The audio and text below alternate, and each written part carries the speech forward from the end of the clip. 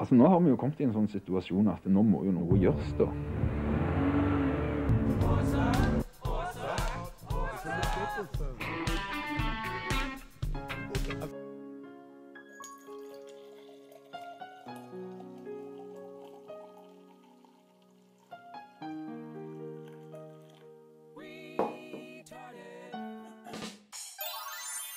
Det som jo skjedde, var at eh, Åse Kleveland fikk en sånn fiks idé.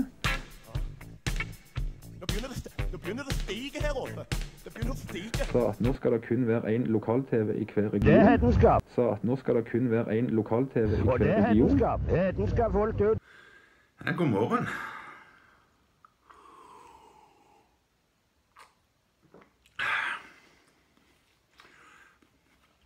Norsk kaffe ifra rengjort kaffetrakter, det er godt på en søndag. Og det gjør godt å se at solen lyser og Like kjekt er det jo ikke å våkne til nyhetene alltid. Det første jeg så på sengen når jeg skulle skru av søvnmåleren, det var en melding fra CNN om at det hadde vært en eh, selvmordsangrep, og at mange mennesker var drept i eh, Ja, så måtte jeg jo scrolle litt. Og så så jeg at det var Jemen, og så tenkte jeg ok, ja, men det er ikke noe farlig. For det er jo bare muslimer mot muslimer.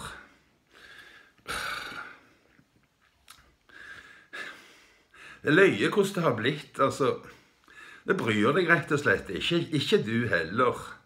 Altså, Vi har blitt immune mot den slags. Og jeg må jo bare si at det er muslimene sjøl som har gjort det. Altså, De har jo klart å gjøre flyktning til et fire bokstavsord. Før i tiden så var en flyktning var jo nærmest en slags helt. En som hadde klart å lure seg unna et undertrykkende regime. Vi likte flyktninger. Vi ville ha mest mulig av dem. Vi gikk rundt og sang 'Give peace a chance' og Husker dere eh, Pete eh, Johansen? Han er fra Modesty Blaze, han med fela. Han skrev noe på Facebook i går. Jeg tenkte jeg skulle lese for dere. Tidlig på morgenen, altså jeg håper at jeg klarer å lese det sånn noenlunde bra. Pete Johansen, altså. Det er trist når de eneste samtaler om krig dreier seg om hvilken side man skal stå på, om hvem som er skurkene. I min fjerne hippieungdom sto vi på fredens side. Det var krigsherrene som var skurkene. Samme hvor de kom fra, og samme hva de sto for. Det bør være krigens avskyelige konsekvenser som opprører oss, ikke hva det kjempes for, ikke hvem det kjempes for. Eh, hva var det jeg sa? Eh, mm, glem den siste ikke-en der. Eh, ja. Dagens tendens med å glemme forledere det faktum at det nesten aldri snakkes om nedrustning, avspenning og demilitarisering lenger, kan fort bli et stort tilbakeslag på det som bør være vår fortsatte marsj mot det som tross alt har blitt en mye bedre verden, nettopp av slike naive folkebevegelser. Den latterliggjorte hippiebevegelsen var kanskje en av de mest pragmatiske folkebevegelser som har vært, med konkrete resultater som eh, slutt på Vietnamkrigen. Ja, det er ikke verst. Det var hippiene som fikk slutt på Vietnamkrigen. Og en utstrakt motvilje mot å gå inn i militæret for å trenes opp til å drepe fremmede på ordre fra barbarer med stjernedekorerte uniformer. Det er kanskje på tide å børste støvet av de holdningene og bli litt mer oppmerksomme på at norske unge mennesker er villige til å delta mer eller mindre aktivt i fryktelige krigsforbrytelser på fremmed jord. Norge har i dag vært i krig siden høsten 19... Nei, jeg skal ta det om igjen. Det er en veldig viktig setning. Norge har vært i krig siden høsten 2001. Altså, Norge har nå vært i krig i snart 17 år. 16 i alle fall. Hm? ikke så mange som tenker på det. Hvorfor er det så udramatisk? Fordi vi har blitt sløve midt i våre fremskritt. Det er på tide å stramme seg opp. Vi har begynt å gå tilbake, eller bakover. Ja, det syns jeg var veldig godt skrevet av uh, Pete Johansen. Beklager min litt uh, rufsete fremføring. Jeg skulle gjerne trent på det. Gjerne lest teksten en gang på forhånd, sånn er det. Jeg har jo ikke noe støtte. Aldri hatt støtte til å drive med TV, jeg. Nei, det er det bare TV 2 som får. Tenk så jævlig, da. Hæ? Hva? TV 2 skal få statsstøtte? Eden skal folk ut. Nå begynner det, nå begynner det å stige her oppe. Det begynner å stige. Ja, nå stiger det. Det er så for jævlig urettferdig. Altså, en kommersiell kanal som selger reklame, og som er mest kjent for uh, ting som uh, uh, Syv søstre og Hotell Cæsar og fotball og sånn tullegreier, sånn som ikke har noen verdi i livet. De skal nå få statsstøtte.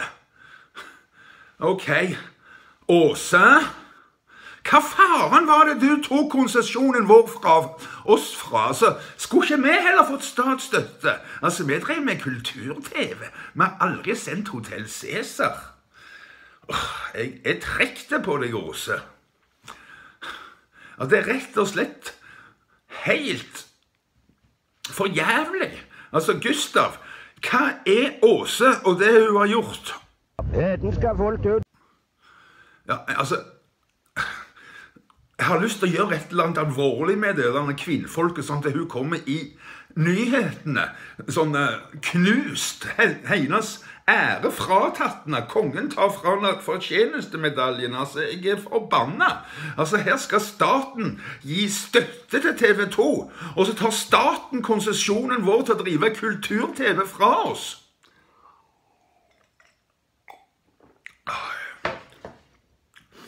Ja, jeg hadde mye annet på programmet i dag, men nå er jeg så av på Åse at eh, jeg tror vi skal vise denne dokumentaren om eh, den eh, triste situasjonen til lokal-TV i Norge.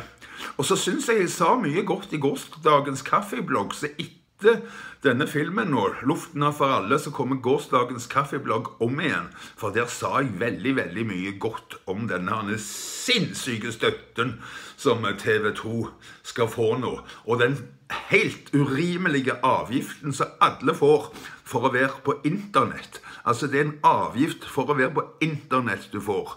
Nå kommer altså eh, Luften er for alle, og så reprise på kaffebloggen fra i går etterpå. Ha en riktig god søndag. Nå er dette endebrakt. Altså Nå har vi jo kommet i en sånn situasjon at nå må jo noen, noe gjøres, da. Hvis vi ikke får konsesjonen vår ganske fort nå, så er det jo ikke noe annet å gjøre enn å begynne med piratvirksomhet igjen. Et godt sted ligger høyt og har utsikt til mange potensielle seere.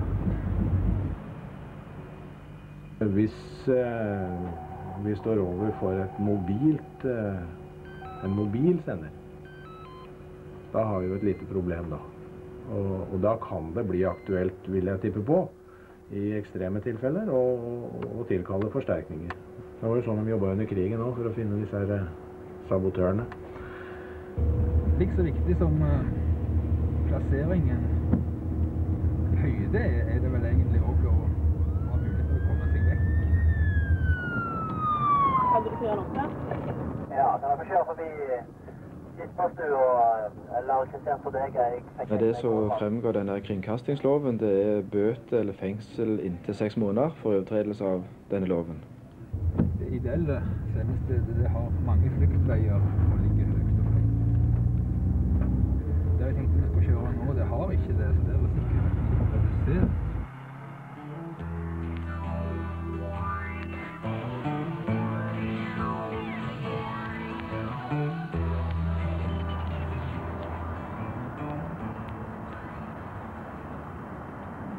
altså, jeg går jo i fengsel for mine meninger om nødvendig, da. Jeg gjør det. Jeg eh, er villig til å benytte meg av piratsendinger, som jeg gjorde for 18 år siden. Politiet i Stavanger pågrep i går kveld fire mennesker mistenkt for å drive med ulovlige radiosendinger. Sendingene, som pågikk i hele går, forstyrret bl.a. instrumentene på Sola lufthavn. Det er Grunnlovens paragraf 100 som helt tydelig slår fast at det skal være ytringsfrihet i Norge. Og det er ikke mulig for meg å få ytre meg noen plass. Riktignok får jeg lov til å si dette inn i dette kameraet her. Men det er òg første gang jeg får lov å snakke til et kamera på over to år, faktisk. det. Det er jo selvfølgelig umulig for hver mann å ha sin egen TV-kanal, for at du skal jo fylle den sendetiden med programmer da. Og derfor oppretter vi ETV. Alle som kom til TV med programmer, de fikk disse programmene sendte. Omtrent etter modell fra amerikansk Access TV. God ettermiddag. Her er lørdagens nyheter. 100 beltevogner.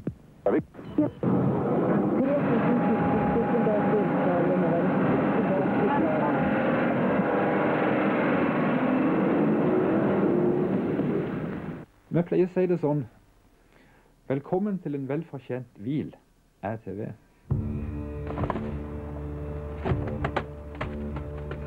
Da er det veldig greit for folk som gjerne bare lager et program i uken, eller kanskje de har laget et program i året, å kunne gå en plass og få sendt det programmet uten selv å måtte søke konsesjon. Evangeliesenteret tror jeg sevner TV veldig mye. De har eh, gitt skriftlig uttalelse for at vi faktisk har redda en del liv gjennom våre sendinger. Det er jo deres programmer vi har sendt, da, men eh, uten ETV så hadde de aldri blitt sendt.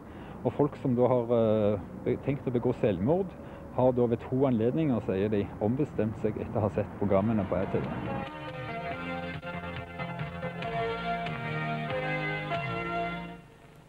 En tilflukt for den utslåtte evangeliesenteret. Vi har uh, mottatt uh, veldig respons på det. Uh, folk som har sett programmet fra Evangeliesenter TV, og folk som er i nød, har rusproblem, trenger hjelp. Som, eh, som ikke har kjent til oss, faktisk. Men de har blitt kjent med oss med gjennom ETV. Da. Og, og da er vi jo veldig takknemlige hvis vi kan få sende dette gratis. Sånn at vi når folk som er i nød. Det er jo det vi ønsker. Vi ønsker jo ikke å, å, å være på TV for vår egen skyld, for oss å si det sånn. Her inne her har det skjedd mye galskap, kan vi få. Her har vi hatt uh, et helt band. Hele ingenting hadde vi her. Med ja, hele bandet med instrumenter, og vi gjorde en trekameraproduksjon, så det var tre kameramann i dette lille lokalet her.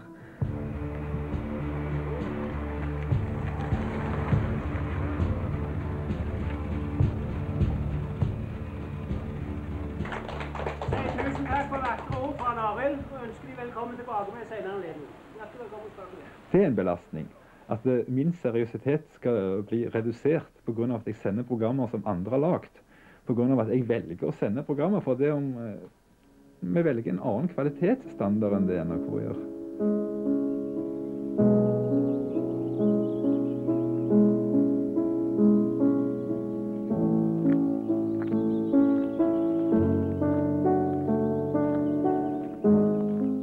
Kan lage gode ting hvis vi først vil, men det vil helst stort sett at vi ikke vil lage sånne dynamiske tresekundersklipp. sekunders klipp. Vi vil ha litt lange klipp. Vi vil at folk skal få lov å snakke ut. Vi vil ikke klippe sånn sannheten. Vi vil at folk skal få snakke til punktum og få utdype sannheten. Og da blir det gjerne litt langt, men det er bedre det enn at du sitter med 30 sekunder med løgn.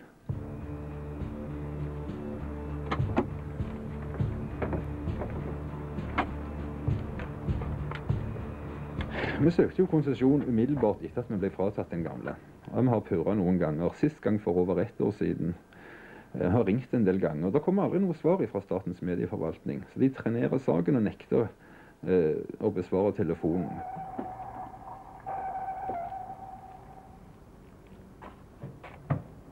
Det som jo skjedde, var at eh, Åse Kleveland fikk en sånn fiks idé. Sa at nå skal det kun være én lokal-TV i hver region. Og eh, da søkte TV Vest, som hadde gått konkurs tidligere, eh, i motsetning til TV, som hadde en relativt sunn økonomi. Det er da selve senderen, som eh, nå tilkobler et eh, vanlig og billig superværskamera. Det er for at eh, den totale verdien skal være veldig begrensa hvis noe udemokratisk skulle skje. Ja.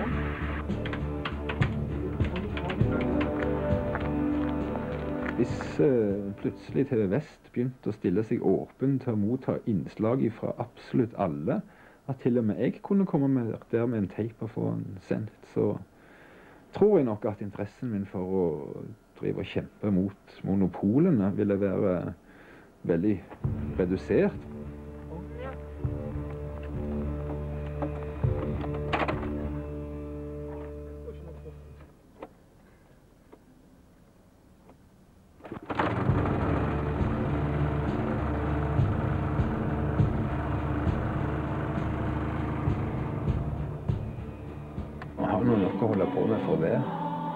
Så mye gammel teip å gå gjennom og sortere og katalogisere at det er helt utrolig.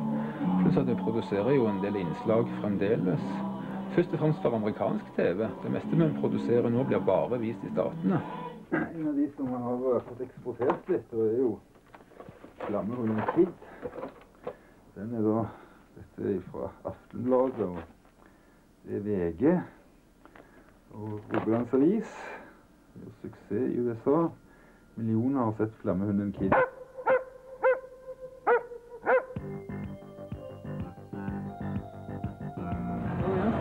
Slå på. Slå på strømmen på videospilleren. Og slå på strømmen på senderen.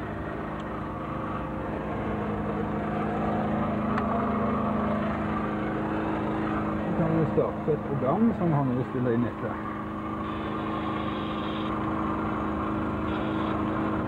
Det var NRK, nei det var TV 2.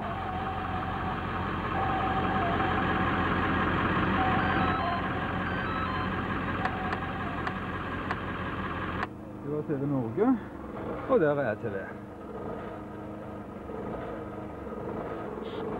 Ja, det kribler jo alltid litt i magen. Det medfører jo alltid en viss risiko å sende pirat-TV. Så eh, det er klart jeg har jo alltid en viss nervøsitet for at noen skal komme og kjøre opp veien her, da. Nei, ytringsfrihet er for viktig til at du ikke skal ta sjansen. Og jeg syns jo at offeret er ikke så stort, da. Og det er litt slit, altså. Det er klart det er en belastning, men uh, sånn i forhold til utbytte så er ikke offeret for stort.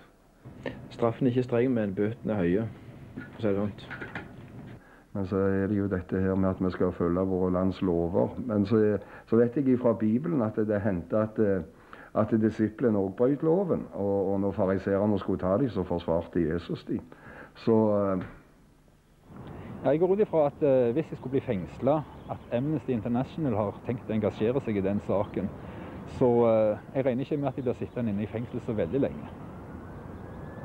Men tar gjerne sjansen.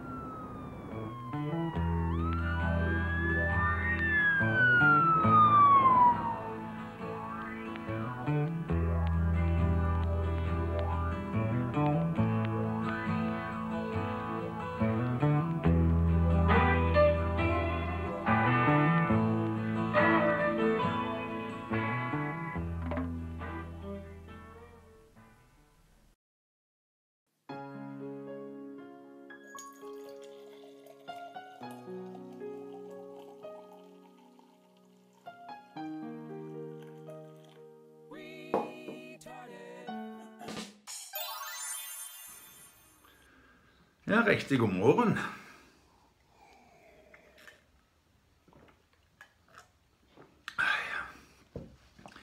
Ja, det har blitt lørdag.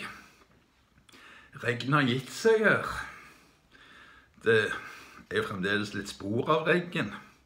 Sånne små dammer i parken og sånt, men eh, det ser ut til å bli en brukende lørdag. Tror nok at de skal nå målsetningen om minst 10 000 skritt i dag, i alle fall. Men jeg må jo først sitte og høre ferdig dette her eh, lørdagsoppgulpet til NRK Alltid nyheter.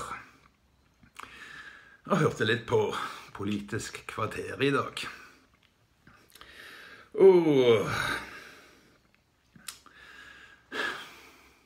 Jeg har lyst til å si litt mer om den galskapen som holder på å bli innført i Norge nå. Altså, Det er gale nok at du må betale NRK-lisens bare for å ha et TV-apparat som kan motta de, enten du, vil eller ei.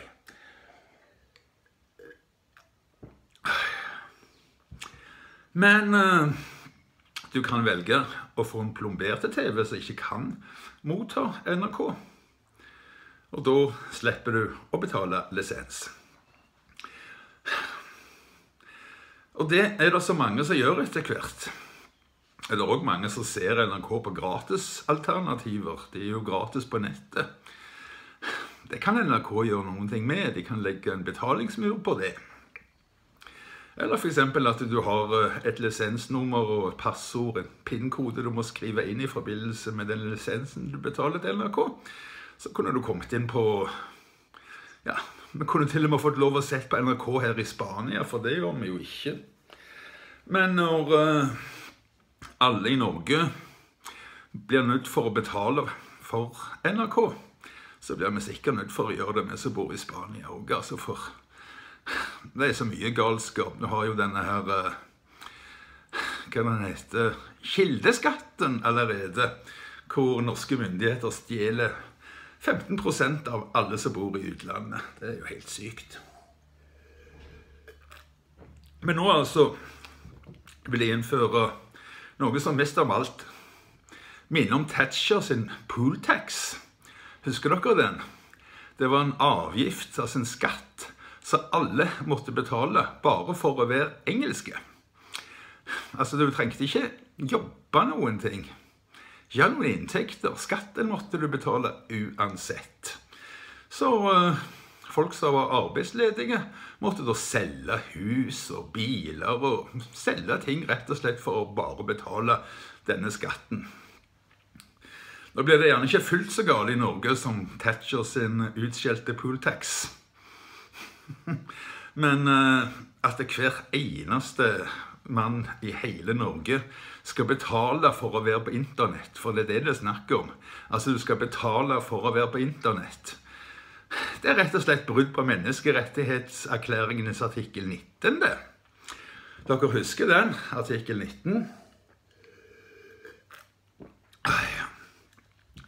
Den om å, at alle skal ha fri rett til å søke og meddele informasjon.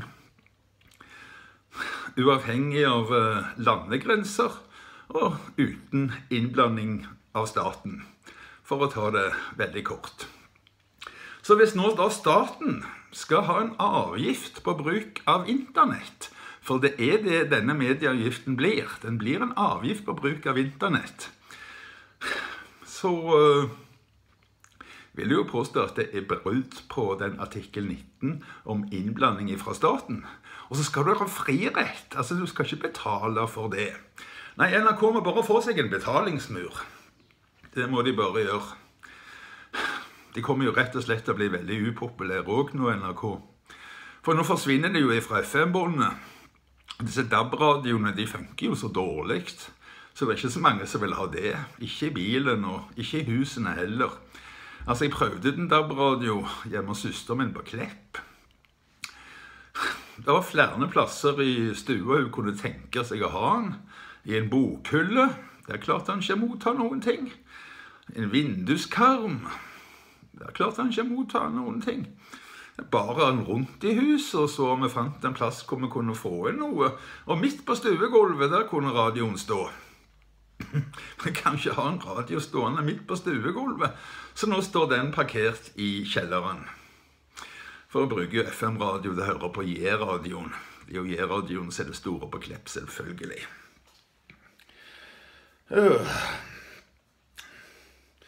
En annen ting som dette her fører til, det er jo at Rana kommune har Ja, de føler seg rana i Rana. ja, for dette der ligger NRKs lisenskontor. Og det er ganske mange stillinger i den kommunen som da vil forsvinne. Ikke jeg bryr meg særlig mye om det. Jeg har aldri hatt sansen for NRK lisenskontor. Jeg syns det er mye verre det som Trine, den feite Grande, gjorde mot Rygge. Altså, Det var ikke bare mot Rygge, det var mot hele befolkningen. Det Altså, det har jo blitt dyrere å fly hjem til Norge. Det er sånn at vi kommer til å feire julen her. Feire og feire. Det blir vel at vi spiser noe god mat, men det er ikke noe uvanlig med at vi spiser god mat. Vi spiser ofte god mat. Så uh, Nei, det er Trine sin feil at vi ikke kan dra til Norge. Har rett og slett ikke råd lenger, Trine. Uh, ja, er det noe mer vi skal si? Jo, i forbindelse med det med å fly. altså, Kristelig Folkeparti de er tydeligvis ute på å ødelegge all glede for folk. altså. De vil uh, innføre en uh, Hva er det de sier? Uh, Altså, de, de, vil at Vinmonopolet skal overta taxfree-salget. Egentlig så vil de forby det. Men altså, det vil jo da føre til en enorm prisstigning. For at Vinmonopolet har ikke så gode innkjøpspriser som dette tyske firmaet som driver de nå. Men det er vel gjerne det Kristelig Folkeparti vil, da. At det skal bli dyrest mulig. Så Derfor så sier de nå i første omgang at de vil at Vinmonopolet skal overta taxfree. Men vi kjenner lusa på gangene. altså Kristelig Folkeparti vil forby taxfree-handel. Hvordan er det ikke dyrt nok å drikke seg full i Norge? Ærlig talt. Men her i Spania så får du av og til gratis vin. Du vet jeg vil ikke ha noe raffineri her i, Spa. Dette her er jo et vindistrikt. Så eh, på veien, på motorveien, så blir det ofte stoppet. Sånn demonstrasjon. Kommer de og gir deg en gratis vinflaske. Og så står det sånn Vi vil ikke ha raffineri i Extremadura. Sånn Extremadura raffineri ennå.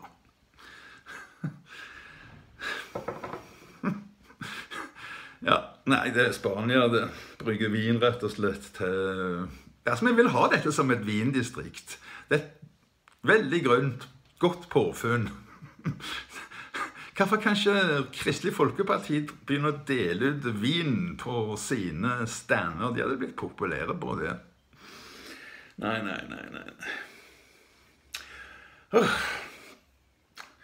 Vet du at det kommer det å starte en aksjon for et protestvalg nå, jeg. For det, det som skjer i Norge med politikken nå, er jo sosialistisk. Ikke sant? Denne her medieavgiften. Det er jo ren sosialisme.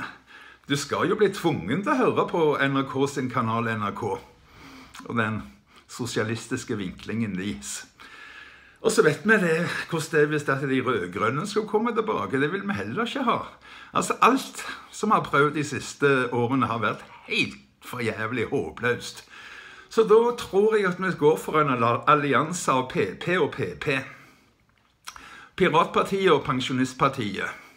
Og jeg vil da nominere Arnt Gunsted som min statsministerkandidat. For jeg tror han har uh, mer livserfaring enn de ungdommene i Piratpartiet. Men jeg har tro på begge partiene. Sånn uh, samarbeidskonstellasjon av PP og PP, det er mitt forslag. Og så kanskje vi kunne fått med en sånn sprøing som Anders Lange. Det hadde jo vært hyggelig. Hør på han.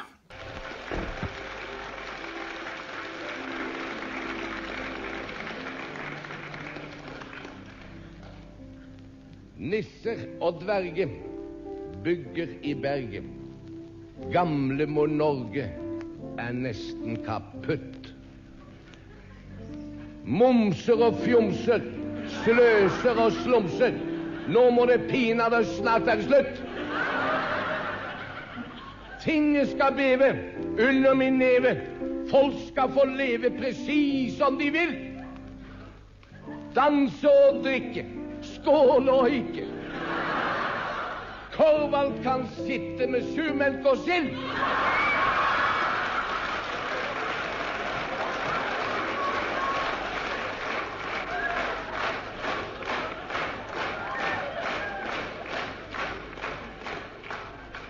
Ingen skal lenger frarøves penger. Skatter og moms skal vi snart få forbudt. Polet skal stenges. Kemner skal henges. Og fjoset skal sprenges i luft med krutt.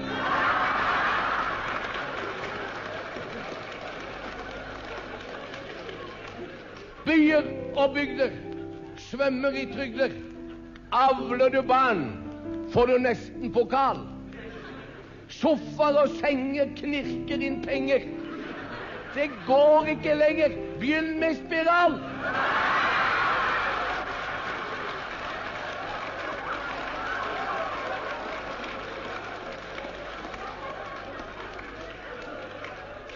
Dovre skal veltes. Isen skal smeltes. Gamle mor Norge skal få litt humør. Skal få litt humør. Dagen skal komme da det skal flomme honning og manna og eggelikør. Ja, la oss håpe det at det kommer dager der det kan flomme honning og manner og eggelikør. Det var Anders Lange fra Anders Langes parti til sterk nedsettelse av skatter, avgifter og offentlige inngrep, som det het før det skifta navnet til Fremskrittspartiet. Ja Det er noen her på radioen som sier at eh, Det var en fra Kristelig Folkeparti for øvrig. Som sier at eh, hele verden misunner oss Vinmonopolet. Hm? Hæ? Hæ? Misunner oss Vinmonopolet?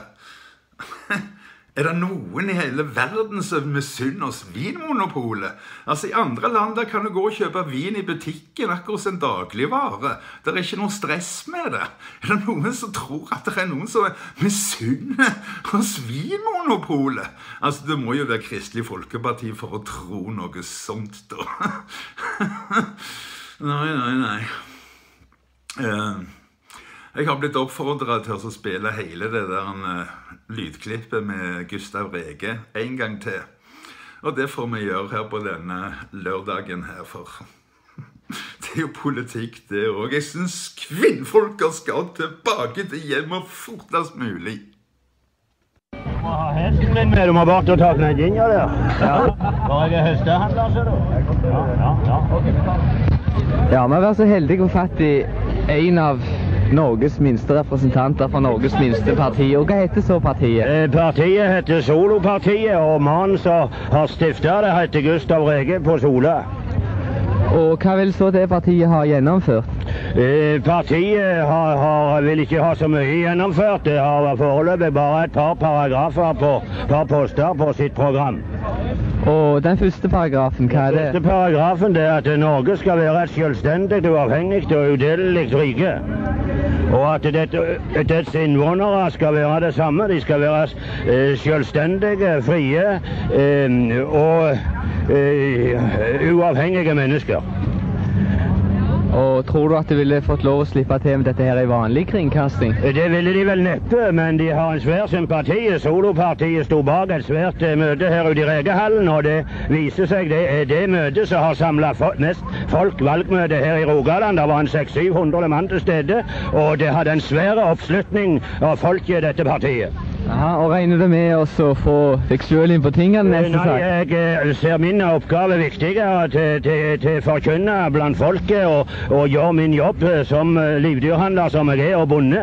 For jeg er en av de siste som ikke kooperasjonen har greid å utrydde. Og slik som jeg ser det, så har det styresettet vi har, de har ryddet ut på tusenvis av småbrukere. Det er gode arbeidsplasser. Det er de mest eh, miljømessige beste plassene som får en ungdom til å vokse opp på. Det er på et småbruk, og det er de som nå styrer, har ryddet ut i. Dessuten har de ryddet ut eh, en stor del av våre fiskere, mesteparten av yrkesfiskerne, som levde med sine koner og, så, og, sine familier i, i harmoniske miljøer. Likeens så uh, har de um, gjort det vanskelig for folk i sin helhet. En ungdom i dag som skal ha uh, seg en uh, bolig, han eh, må helst ha en tre-fire-fem unger og ha eh, leie ute på gata noen år for at han skulle kunne få seg ei tomt. Når han da endelig får seg ei tomt, så, eh, så eh, må han og kona gå på arbeid resten av livet for å betale dette her, og ungene i barnehage. Barnehagene bør nedlegges momentant. Konene bør tilbake til hjemmet eh, så vidt som mulig. En høykonjunktur tid som dette, med, med olje i Nordsjøen og alt. Det må være å styre dette landet eh, slik at ikke både mann og kone skal gå med tunga ut igjennom for å holde rentene bare for det bo. Det er en skrekkelig dårlig utnyttelse av en menneskes liv. Menneskeliv de må kunne få gjøre noe positivt. De må kunne bygge opp et eller annet, en forretning eller hva det er. Det vil ikke på noen måte være mulighet verken for Bergesen, Jonas Høgland eller disse som har bygd opp landet, Bjelland, her til å kunne gjort dette i ei tid som nå. For da ville samfunnet vært på dem med en eneste gang og knikka dem. Den må han må ha vekk, det er ikke tale om. Rikdommen skal være på statens hender. Jeg ser det slik at uh, en timremann han må ha en hammer.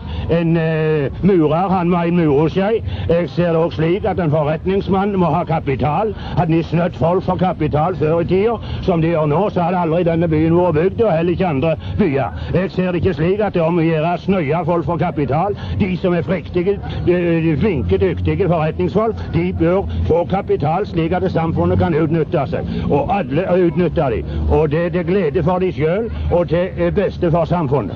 Ja, jeg vil ha mer respekt for enkeltmennesket, en større frihet, slik at mennesket menneske kan få benytte til samfunnets beste, til glede for seg sjøl, de egenskaper som bor i mennesket. Takk.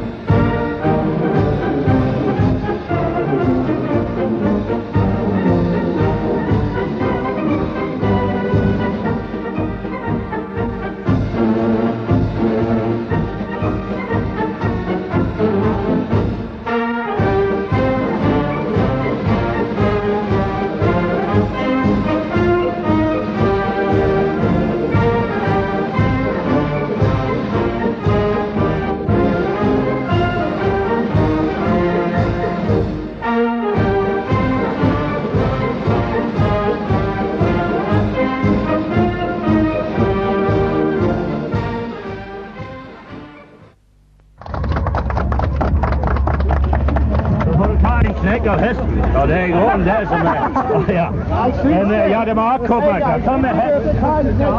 Ja, ja, ja, det får det. Var det mer du ville ha greia på, min kjære venn, så skal du få det her. Jeg har fasitten for mye, ikke riktig på alt, men Ja, bare spytt i, du. Men jeg er en mann som har levd i 50 år, og jeg har kjempa mot dette byråkratiet. To treparter av mi tid har i grunnen gitt med til slått mot myndighetene for å få, få drive min virksomhet.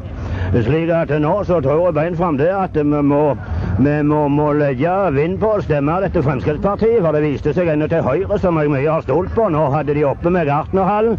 De skulle få monopol på hele jordbruksomsetningen. Det er ingen som skal få lov å kjøpe og selge grønnsaker mer. Og det viste seg det var en innstemmig landbrukskomité der Høyre har tre representanter eh, som stemte for en monopolisering av omsetningen der. Jeg er handelsmann og vil alle skal få lov å handle og selge sine varer. Vi hadde ei sak ute i Sola for noe siden der en fisker hadde solgt en del fisk, og han fikk eh, mulkt og eller subsidiert fem dagers fengsel for han solgte sin fisk. Nå kan det samme skje nå med grønnsakene, at ingen har lov å kjøpe og selge. Men det er en ting som følger tida, på de siste tider da skal ingen få lov å kjøpe og selge. Og det er hedenskap. Hedenskap fullt ut. Det har alltid aldri vært noe galt med det kjøpt og solgt. Det har vist seg over hele verden. Når handelen har blomstra, så har næringslivet blomstra. Ja, det viste seg nå at en by, der ble byg, byene bygde der som handelen blomstra opp, og så blomstra næringslivet. Så handel er ikke noe styggedom, bare det ærlige handel. Ja, men det skal den være.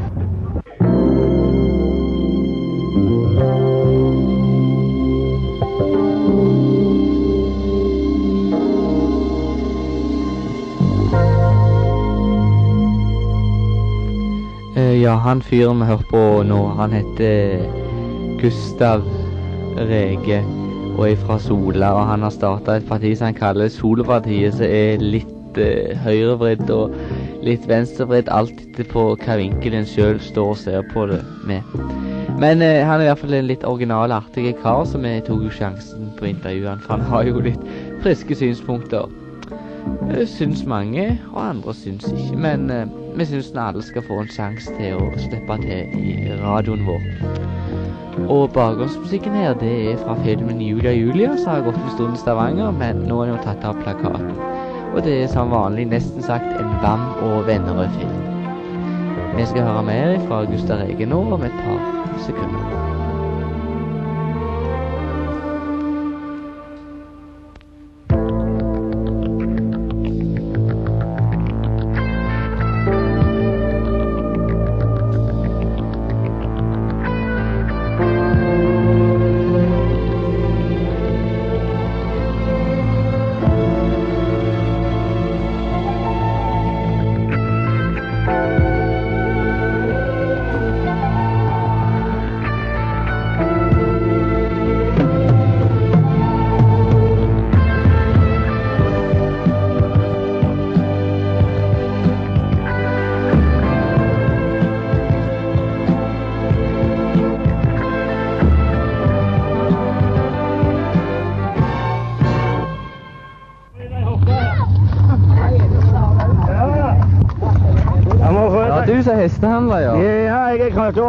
Jeg. Jeg er det. Jeg er krøtterhandler. Og det er et veldig interessant yrke, men det kommer de til å forby. Og ikke tale om noe annet enn kooperasjonen for å handle med hest. Det vil det bli. Må- Cotton får de ikke handle med. Cotton koster 80 øre kiloen på verdensmarkedet, og de tar igjen tre ganger så mye for det. Til bøndene må jeg 2 kroner og 14 øre kiloen. Ja. Sånn er det nå, ser du. Ja. Ja, riktig. Men du må få den hesten til å knegge, du. Du kan vel det, du som er mikrofonmann? ha? Ja, jeg tror jeg skal få sendt var 100 kroner med deg, du får ikke sendt det. Prøv å velge noe, da. Nå må du våget igjen. Hæ? Jeg skal våge 100 kroner med deg, du får ikke sendt det der. Nei, det blir hørt på velg noe, da. På FM-båndet 100 megahertz. Hæ? På FM-båndet 100 megahertz, cirka. Hva sier han? På FM-båndet på radioen din, på 100 Jeg har ikke hverken radio eller fjernsyn. Jeg må gå til Nei, det er ikke er det løye. Ja, den friske, friske Gustav. jo da, jeg kunne godt tenkt meg å ha han òg med på laget på det nye partiet. PPPP må det vel bli det, da, siden det er Pensjonistpartiet og uh, Piratpartiet. PPPP. Godt, parti, godt partinavn, det. Ja, helt til slutt så vil jeg vise bilder av noe som nok ikke blir pinnekjøttet vårt i år. Var i parken her for et par dager siden. Dere får ha en riktig, riktig god lørdag, alle sammen.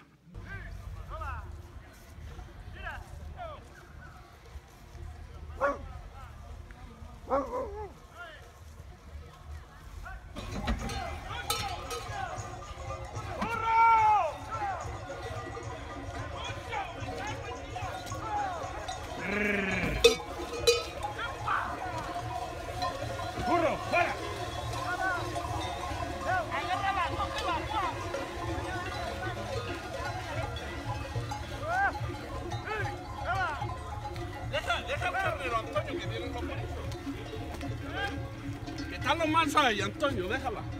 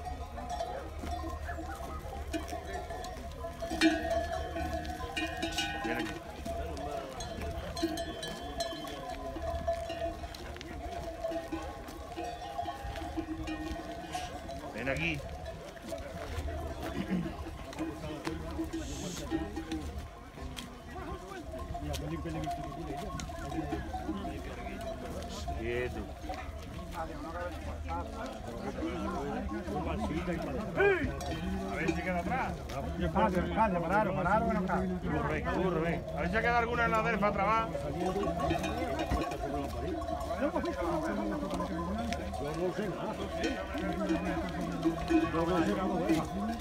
Pues ya no pasa todo el río.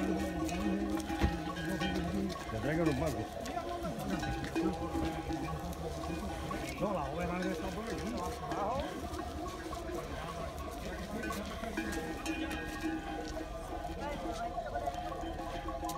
Thank you.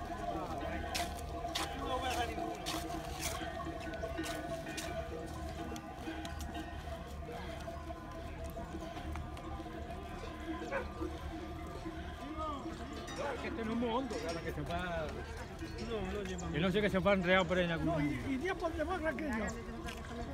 Habrá señor.